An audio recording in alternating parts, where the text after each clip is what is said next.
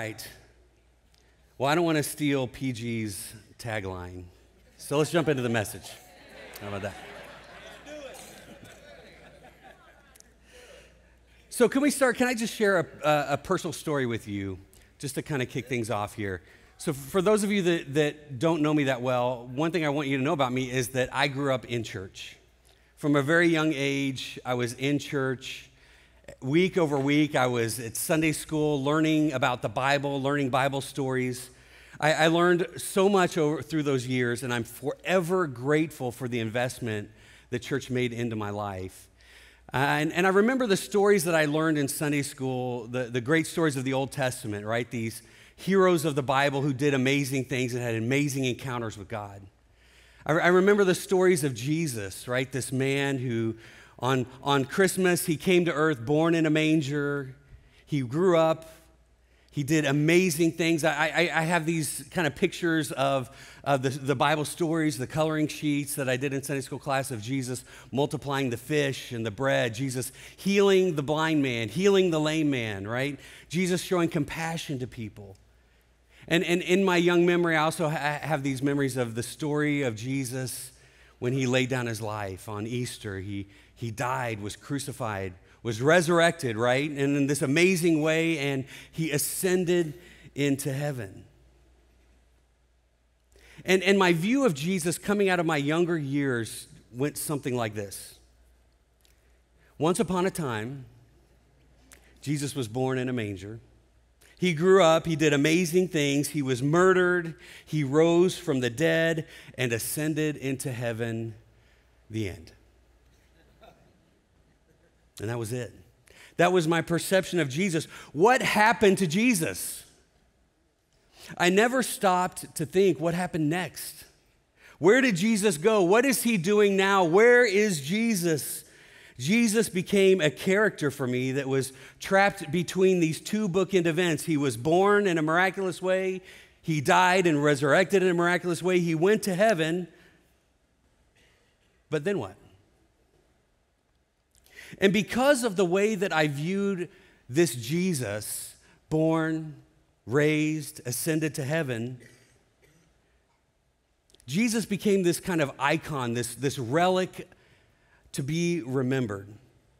He was this person who felt distant from me, someone I couldn't really know. And so, so I grew up with a faith in a Savior who was a Savior of the past. And, and one thing you should know about the church that I grew up in too is that the church I grew up in placed this kind of heavy emphasis on behavior. And, and this, it might, might sound like I'm bagging on my home church. I'm, I'm not.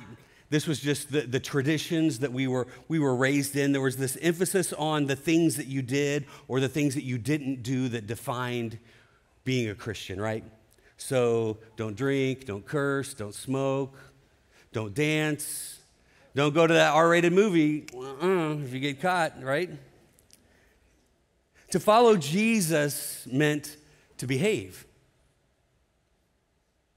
And so this, was, this was my perception of Jesus is, he died for me, so the least that I can do, right, is to behave, right? Get my act together. I'm forever grateful for that tradition, but it was just this flip flopped, outside in sort of faith that if I behave, somehow God was going to be okay with it. So, do you, do, you, do you see it? Do you see how the way that I view Jesus absolutely shaped and formed my faith?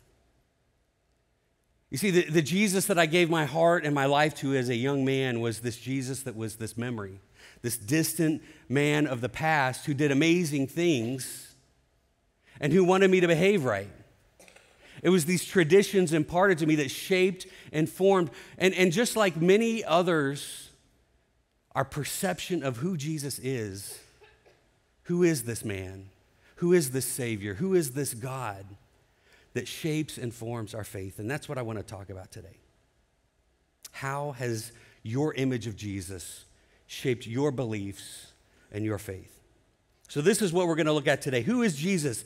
If we see Jesus for who he really is, we'll see that Jesus isn't locked in a cage on the, the black and white pages of a Bible. Now, don't get me wrong, I'm not, don't, don't, don't misquote me. I'm not saying the Bible isn't a great thing. I know Jesus because of the Bible. The Bible reveals Jesus to me and reveals Jesus to us, but the point of it isn't the Bible, the point of it is Jesus. From the Old Testament creation, through all the, the, the, stories of the Old Testament, they all pointed to Jesus. The New Testament Gospels tell us about the life and, and, and the ministry of Jesus right? The epistles of the New Testament tell us about how we should act and be as a church, but it all points to Jesus. And even the book of Revelation is, is pointing us to a future day when all of creation will be redeemed under the authority of Jesus. It's all about Jesus. Do you hear me? It's all about Jesus. Jesus isn't confined to the walls of history where we have to live a life where we're constantly looking back, trying to remember this great man. Jesus is the King of Kings, He's the Lord of Lords, He is the ruler and reigner of the universe, alive and well today. Jesus saved and redeemed history. He saved and redeemed our present, and He is saving and redeeming our future, and we can trust Him.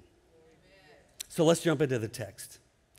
If you, if you have your Bible app or your Bible that you can turn here with, we're going to look at Colossians chapter 1, beginning in verse 15 through verse 20. This is Paul admonishing the, the church in Colossia about Jesus. So let's read this together, beginning in verse 15.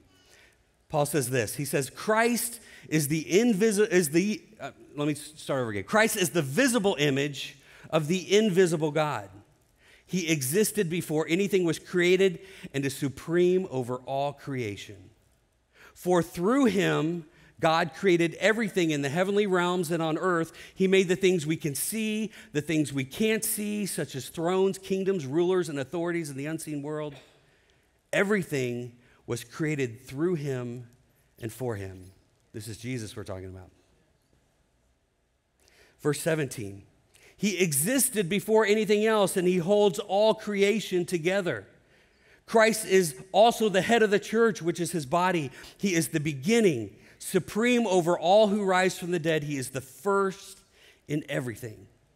Verse 19 For God in all His fullness was pleased to live in Christ, and through Him, God reconciled everything to Himself. He made peace with everything in heaven and on earth by means of Christ's blood on the cross. That's Jesus. This is Paul's letter to the Colossian church. See, Paul had gone on several missionary journeys, and, and, on his third missionary journey, he had made a pit stop in Colossia and had established and planted a church there.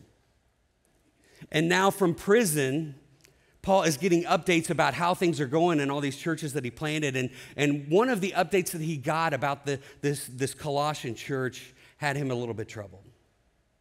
And so he writes this letter to them to right a wrong that was happening in their midst. And he begins, if you go back and read the first few verses of, of, chapter one of Colossians, Paul starts with some, some pleasantries, some greetings, but then he jumps right into it and starts swinging at them. And, and he comes at them with these big assertions about who Jesus is. And notice he's not talking about Jesus' miracles. He's not talking about his miraculous birth to a virgin. He doesn't mention a resurrection. He mentions the Jesus of now. Why is he doing this? Why did Paul jump right into these reminders? Well, what do you say we find out? You see, scholars believe that this letter was written somewhere between AD 50 and AD 60 in that time frame. And, and, and the church in Colossia, which was a Roman city. So it was a church of Gentiles. If you don't know what Gentiles are, like the Bible is primarily written by Jewish people, and so they define the world in kind of two different. Uh, two different sectors. There was the Jews and the Gentiles. Either you're a Jew or you're a Gentile. And the Colossian church was a Gentile church, made primarily of uh, people with a coming from a Greek tradition. And, and word had reached Paul that there was some misinformation leaking into the church. And in fact, scholars call this the Colossian heresy. The Colossian heresy. And in, in, in fact, what we, we find is that the, the, the things that were happening in this church were things that we even struggle with today. You see, there were, there were false teachings that were seeping in and bubbling up inside the church that came from really from two primary places. The, the first was uh, uh, uh, this form of Jewish legalism, right? So, Jews who were trying to impose Jewish traditions onto Gentiles, right? So, they were trying to assert that to be a Christian meant that you would hold to certain Jewish traditions. You, you'd be circumcised, circumcised you would uh, you would follow certain eating practices. You would observe certain Jewish holidays, right? And so they were making it about the tradition rather than about the gospel. They were taking the traditions that they grew up on, that were a part of who they were, and they wanted everyone else to follow them. Now, now before we get too judgy about these people, let's be careful. because we see this even today. People who bring their traditions, who bring the stuff from their past and they want to drag it in and begin imposing it on other people. I grew up singing the hymns, so you better sing the hymns, right? I grew up not watching R-rated movies and not drinking, not smoking, etc. I mean, the list can go on and on and on. And if you're going to be a good Christian, you better follow the rules. We can be just like them. We can fall into these legalistic tendencies if if, if, if we're not careful. And so th- this force of legalism was beginning to impose itself on, on the church. And it was becoming more about the stuff that people were doing, it was more about behavioral modification than it was about the gospel. And it was affecting the, the church. Now, there was, a, there was another thing that was happening in their midst that was causing some ripples too and, and some heresy as well. And it was this idea of Greek mysticism. So go back and think about, you know, what you know about Greek mythology, right? So there are these people who came from this Greek mystical background, and they were beginning to drag these memories and traditions of Greek mysticism into the midst of the church. And it was beginning to infiltrate, and it was beginning to, to, uh, to cause shifts in the way that people were defining and seeing Jesus. And so, so people were creeping into the church teaching these false beliefs that were even denying the godship of, of Jesus, right? These polytheistic kind of uh, beliefs that were saying, well, Jesus really wasn't God. He was an iteration or an intimation of God. He was a deity for sure, but not God himself. But Jesus created all things, and so a physical being can't create a physical world, so he has to be spiritual. And so this, this, belief system was saying that Jesus wasn't God and he wasn't man. They were getting it wrong on every front, but they were just bringing their own traditions and beliefs into the mix, and it was really leading people astray. Now, now this, this heresy that was emerging out of the church in Colossia was really the beginnings and the roots of uh, a term that you might be familiar with, with, which was Gnosticism. Does that sound familiar to you? The Gnostic beliefs. You turn on Netflix, go to YouTube, you can, you can see these videos about the Gnostic Gospels, the Lost Gospels. That, that word Gnostic, the, the, the, root word of it means knowledge or secret knowledge. The, the, the idea behind this was that if you just know the secret, if you just know the secret, if you know the secret information about God, it will unlock a connection with God. And, and again, let's be careful because we still see this today. Anyone know the secret, right? If you just know this bit of secret knowledge, if you just know the Bible code, right? it's going to unlock this new revelation, this new information about God that's going to be a game changer for everyone. But let me tell you this we don't need new revelation, we need Jesus, right? And the roots of this heresy continues on even today. We see it today, but, but it, it, it continued in the church for hundreds of years to this point in, in about AD 325, the church had to get together. They called it the Nicene Council. And they had to put a stake in the ground once and for all of who Jesus was because it was getting out of hand. And, and they coined this, they call it um, the Nicene Creed. And let me just read you one ex- excerpt from it.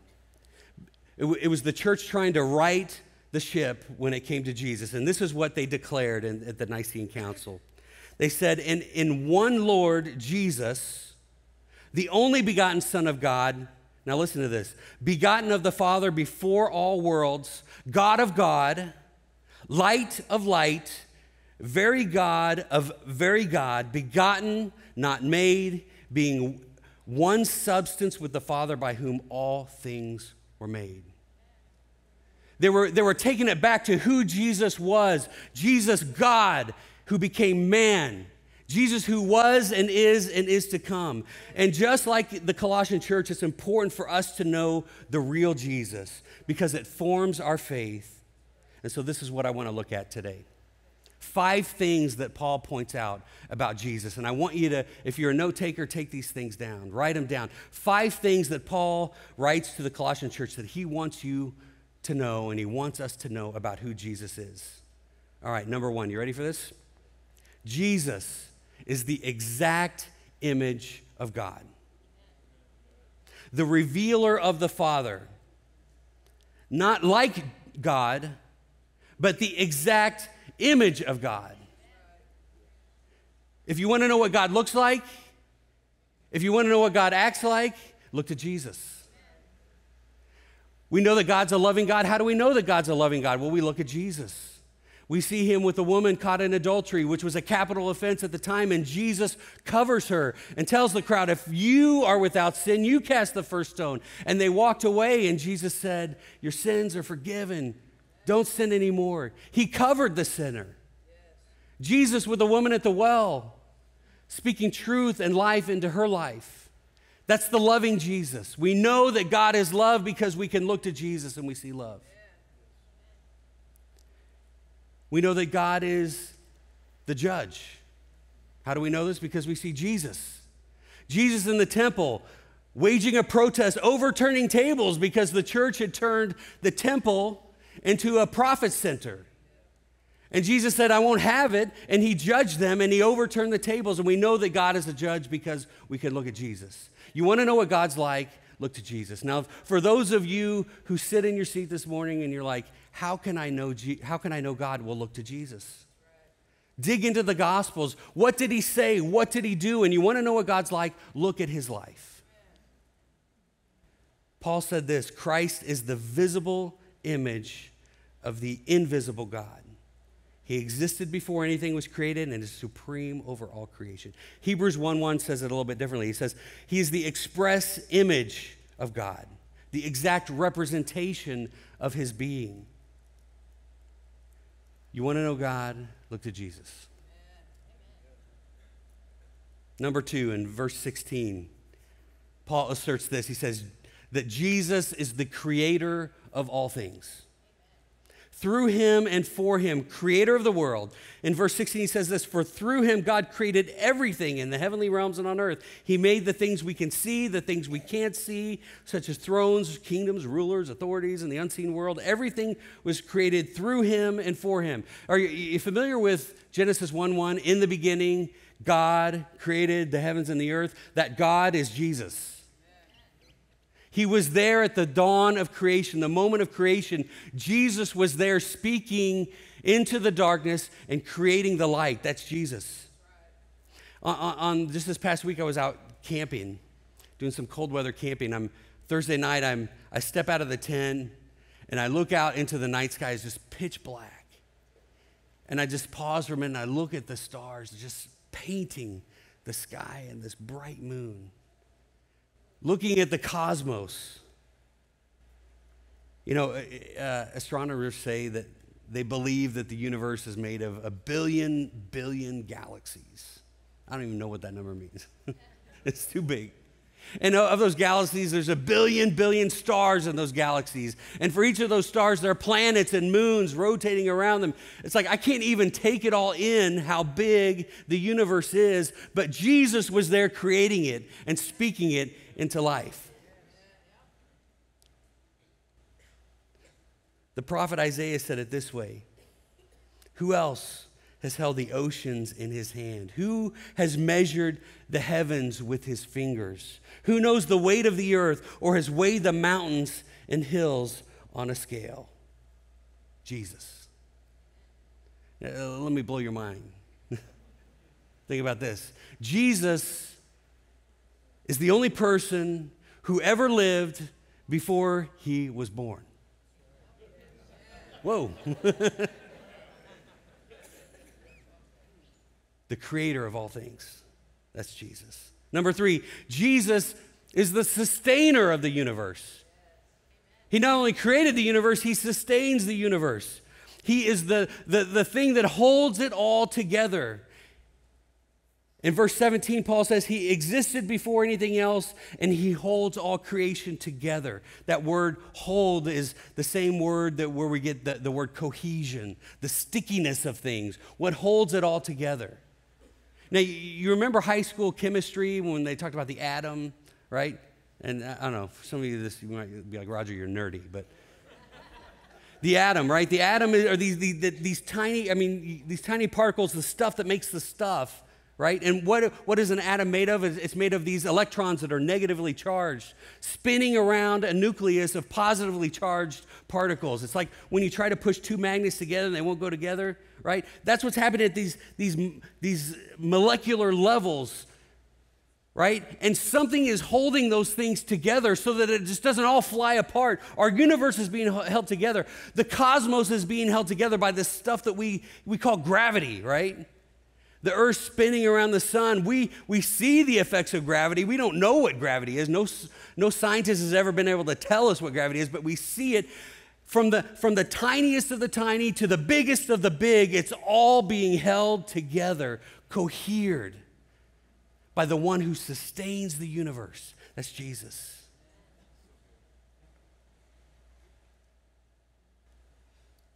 Number four, Jesus is the head of his church, the body of Christ.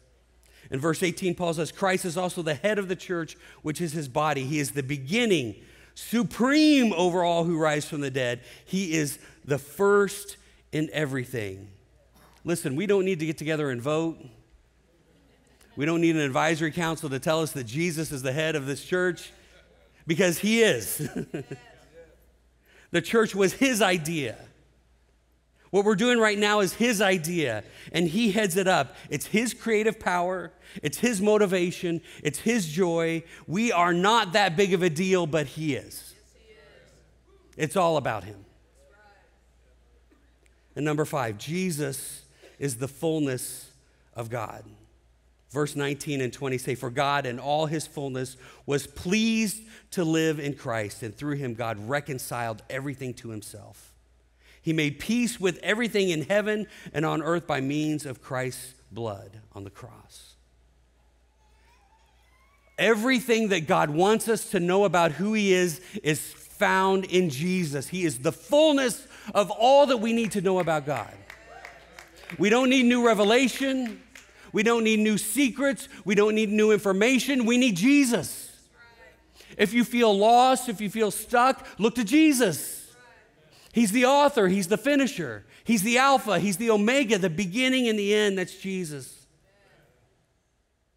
So, in this world that presses from every side to insert its own traditions, its own beliefs, its own qualifications on how to be a disciple, how to be a follower of Jesus,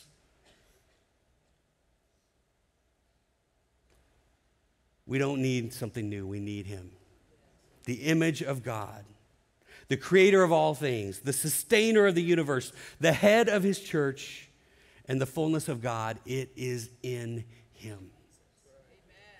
It's all about Him. And if we can just know the real Jesus, it centers our faith, it rights our faith. You know, the, the, the, mission of this church is to make more and better disciples. Disciples of who? Jesus. Because if we follow him, he's going to lead us in the right direction. He's going to take us to the right places. So here is my question for you. this is for you. If Jesus can create all things, if he can sustain all things, don't you think he can sustain your life? in, in the places in your life that seem like dead ends right now, that seem like darkness right now? Don't you think that the creator of the universe can create a new path where there is none? A new option for you if there is none, you can trust him. Where there seems to be nothing but just darkness and death, don't you think that Jesus can breathe new life into those spaces in your life? What are you, what are you facing right now? What's going on in your life? As we, as we face this new year, maybe there's a lot of hope in your life, maybe there's a lot of questions in your life. Look to Jesus. Do you believe that you can trust it to Him? That's what being a disciple is all about. Is I will throw myself at your feet, Jesus, because you hold the keys to what I need in my life, and you can do it.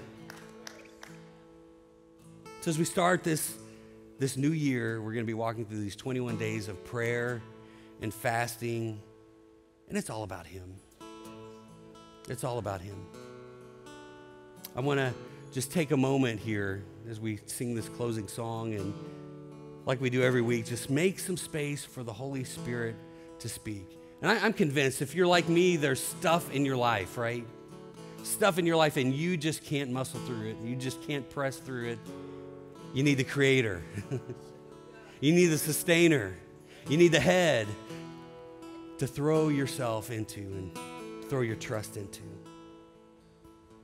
So let's just take this moment and sing and put our focus on Him.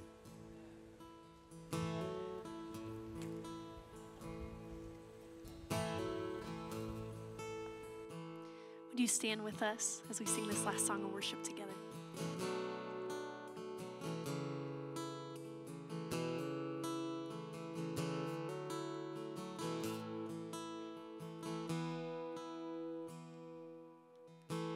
Jesus at the center of it all. Oh, Jesus at the center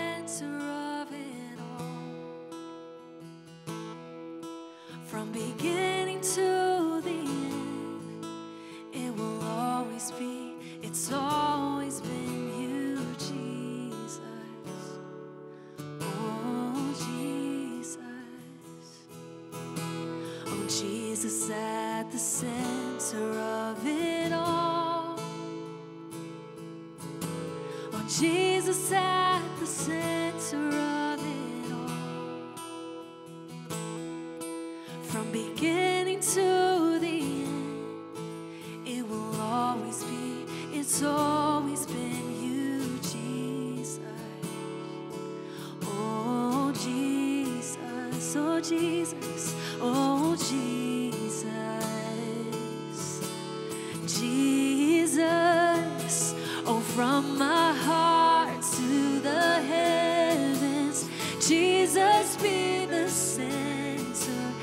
It's all about you.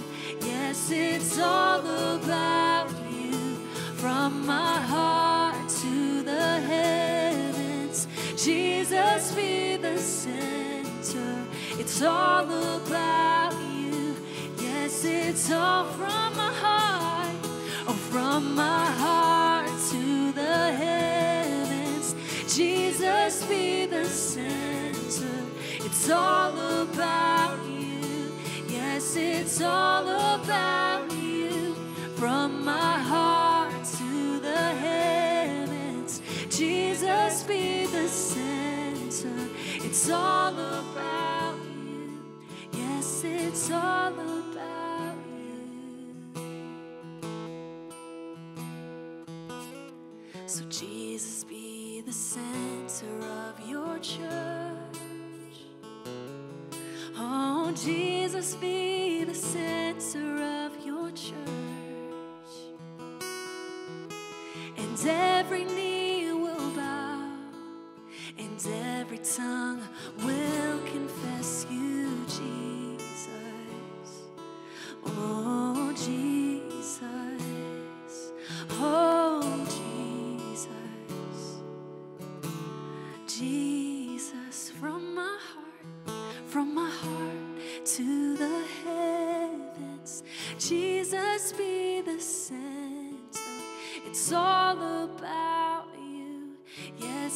it's all about you. From my heart to the heavens, Jesus be the center.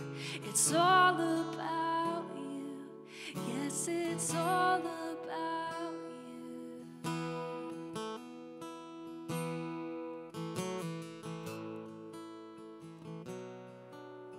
Can I pray for you this morning? So, God, thank you for meeting us here. Hmm. Lord, when I was little, I thought you were little, but you're so much more.